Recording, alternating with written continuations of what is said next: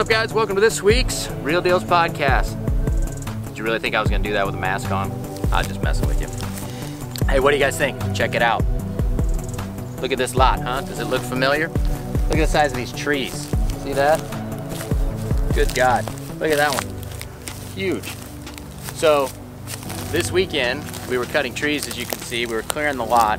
This is kind of my favorite part of the process, and that's why I wanted to bring you guys out here and kind of show you. We can overlay some old footage so you guys can see how wooded this lot was. There wasn't a ton of trees on it, but the trees that were on it were huge. And so it made it feel real dark in comparison to what it is now.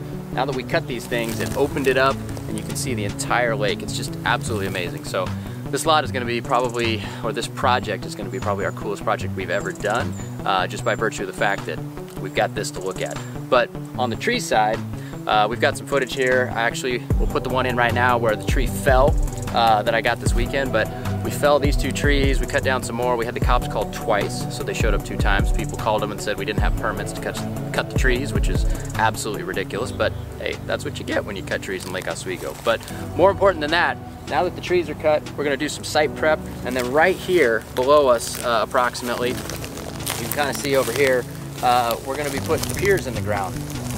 And so these piers are gonna basically uh, hold the hillside in place. So even though they're not really needed, uh, it was kind of an extra precaution that's being taken based on the grade and the fact that this area is mapped as a historic slide zone.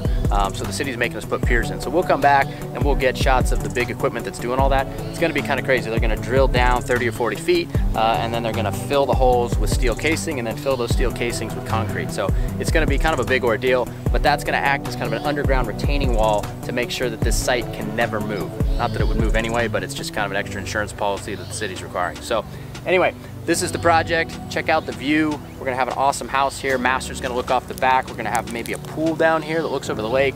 It's gonna be phenomenal. So we're off to the races. Hope you guys like what you see.